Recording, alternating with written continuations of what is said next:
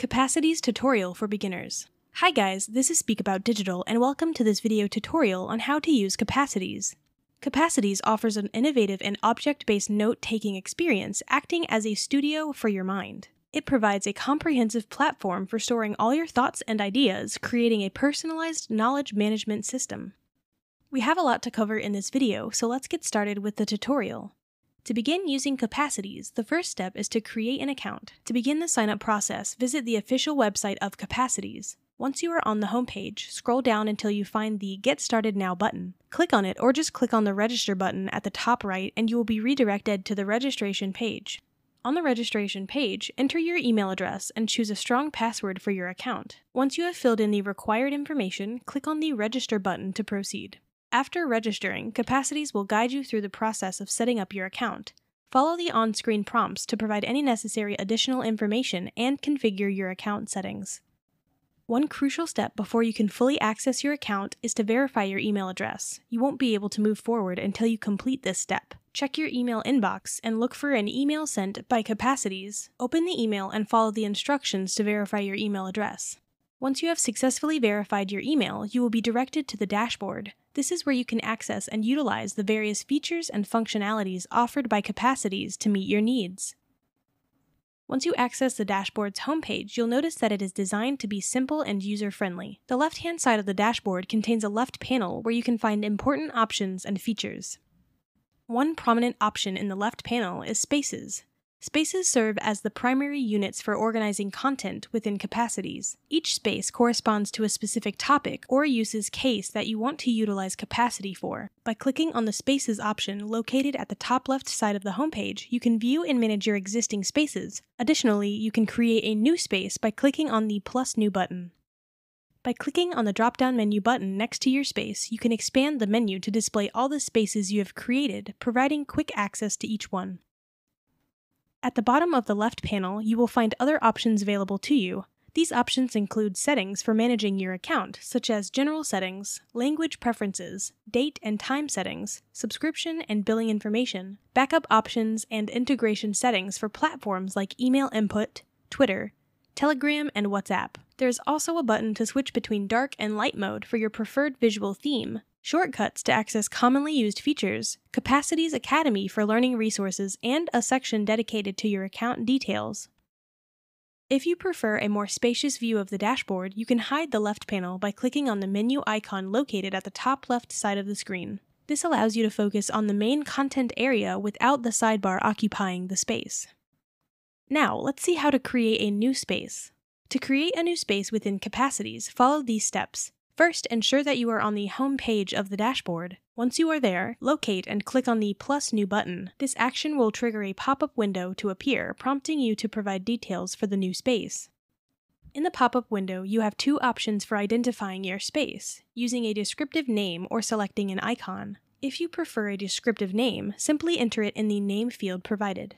Choose a name that accurately represents the topic or purpose of your space.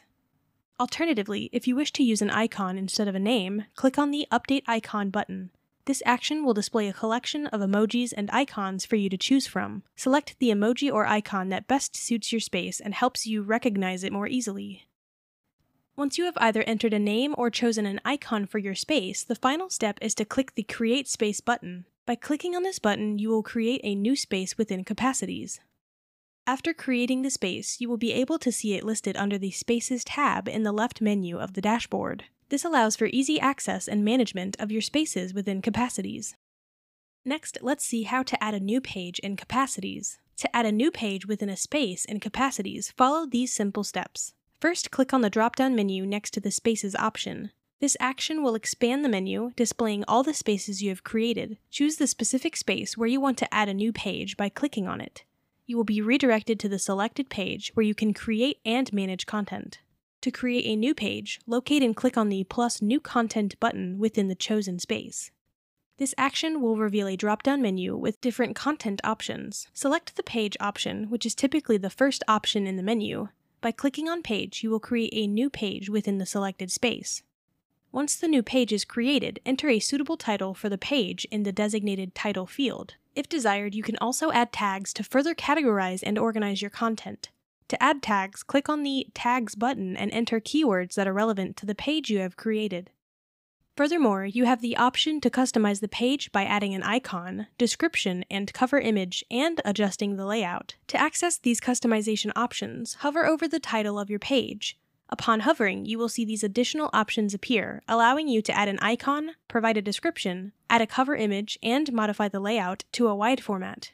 Adding an icon is as simple as clicking on the Add Icon option. This will open up a pop-up window containing a selection of emojis and icons for you to choose from. Select the icon that best represents your page. To add a description to your page, hover over the title and click on the Add Description option. This will reveal a field where you can enter a description that provides additional context or information about the page's content. To include a cover image, click on the Add Cover Image button. A pop-up window will appear offering various options for adding an image. You can upload an image from your computer, provide a link to an image, or choose from images available in the Unsplash database. Select the preferred option to add a visually appealing cover image to your page. Furthermore, you have the ability to change the layout of your page. You can switch between the normal layout and the wide layout to suit your visual preferences or accommodate different types of content. Once you have set up the name, description, and cover image for your page, the next step is to add content. To do this, simply click on the blank area of the page and start typing or adding relevant content. To add more lines or points, click on the plus icon, allowing you to expand and structure your content. You can also customize the text within your page.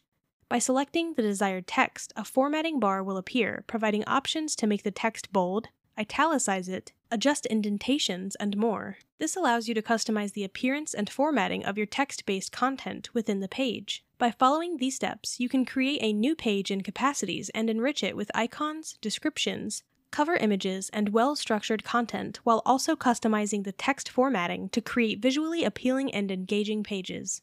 And there you have it, a beginner's guide to using Capacities. You can sign up using the first link in the description. I appreciate that, thank you. We hope this video provided you with a clear understanding of the platform's capabilities and how to make the most out of its features. With Capacities, you now have a powerful tool to organize your thoughts, ideas, and digital content in a seamless and efficient manner. So again, if you found this video helpful, please give me a thumbs up, and if you have any questions at all, please comment below. I try to answer all the comments the best I can. Thanks for watching.